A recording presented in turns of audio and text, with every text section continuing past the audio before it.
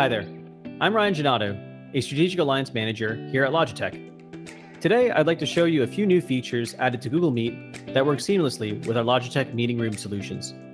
I'm joined by my colleague Jonathan Oda, Alliance Marketing Manager, who's going to help with the demonstration. First up is Occupancy Count. Thanks, Ryan. In the room here, I have a Logitech room solution for Google Meet, including a Meetup conference camera, a Tap Touch controller, and a Google Meet compute. This feature will also work on our Rally cameras and our PTZ Pro 2 devices. So whether a call is in session or not, Google uses the Meetup to constantly monitor the number of people in the room. Now let's take a look at the data in Google Admin Console. This report contains all the information collected on room occupancy, so you can run it through your own analysis as needed. Google also provides a dashboard so you can visualize your data.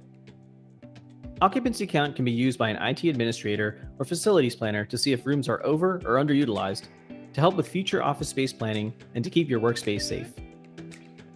Another newly added feature supported by Logitech Meetup, Rally Camera, and PTZ Pro 2 is Google's continuous framing. This software ensures all participants are framed properly, whether they're seated, moving about the room, or need to exit or enter mid meeting. Jonathan, why don't you take a few paces around the conference room to show how the feature works? Of course, Ryan. As I move about the room, note how the camera stays with me. Continuous framing is ensuring that I stay in frame even when I do something like moving to a whiteboard. With this new feature, auto framing is now available across all Logitech Room kits for Google Meet, joining the already supported Rally Bar and Rally Bar Mini, powered by Logitech's RightSight AI. Let's move on to the next feature. Google Meet now supports custom screensavers that can be deployed on any room display. Let's see how that looks in Google Admin Console. Now, on an organizational unit level, you are able to specify a URL that will be shown on your Google Meet device display.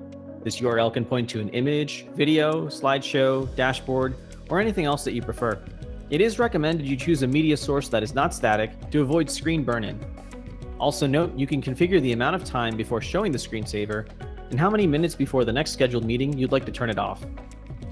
As you can see, we've added a custom screensaver to give your Google Meet setup a more personalized touch. Imagine if this is your brand logo or your safety policies or even your building layout. Let's show off one last new feature which I think you'll find very exciting. Companion Mode solves the ever-present issue of microphone feedback and duplicate camera views when joining a room meeting from your laptop in order to share content. With Companion Mode, you can join an ongoing meeting with your microphone and camera muted by default. From there, you can begin chatting, responding to Q&A and quiz questions, or jump directly into presenting if that's what you'd like to do. Let's cut back to the conference room. Jonathan's on this Google Meet meeting with me, and he's going to share his screen for the remote and in-room participants to see. Thank you, Ryan.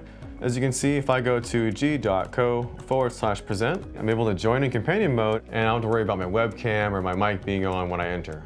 Using this mode, I can easily select my own screen to share. I can share my slideshow or my website.